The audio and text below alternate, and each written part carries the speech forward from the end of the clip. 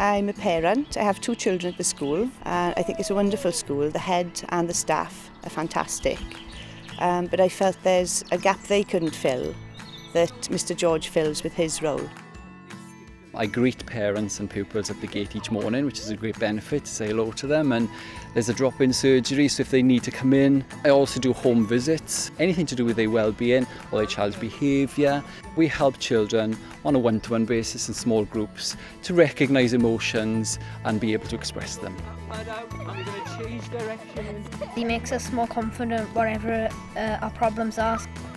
I nominated Mr George because he's a really likeable person He's very kind, his personality is very warm and he is the welcoming face of Park Primary School.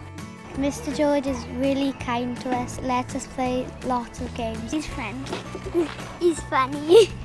I'm a fellow pupil of the school. I know the community very well, being part of it, so it's an advantage knowing the parents and the children as well.